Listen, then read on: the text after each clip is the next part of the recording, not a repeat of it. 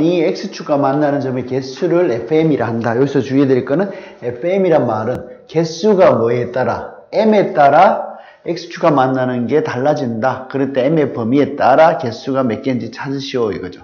자, 그래서 이거 복잡하게 생각하지 말고 모르겠다 그러면 그냥 f1을 한번 구해보는 센스도 있으면 좋겠어.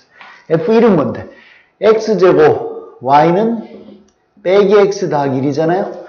얘는 1일 때는 x축과 만나는 점 0 넣어야 되잖아. 그럼 판별 띠를 쓰면 1 빼기 4여서 음이잖아. 따라서 f1은 0이다 이렇게.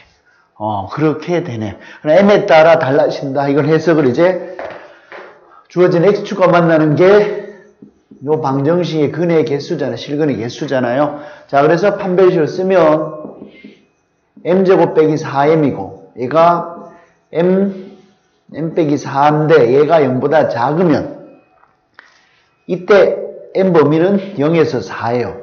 이러면 fm은 얼마다? 만나는 점은 빵개잖아. 그 다음에 m이 1보, 0보다 작고 m이 4보다 크면 양수니까 fm은 뭐다? 두 개고 그 다음에 m이 0과 4면은 fm은 뭐야? 몇 개야? 한 개죠. 중근을 가지니까.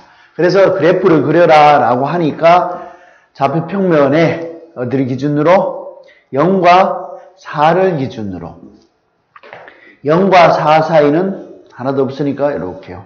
가운데 비어 있고 그 다음에 어, 4보다 클 때는 2개 0보다 작을 때도 2개 0일 때는 1개 4일 때도 1개 이렇게 되는 그림이에요. 1, 아, 2, 1.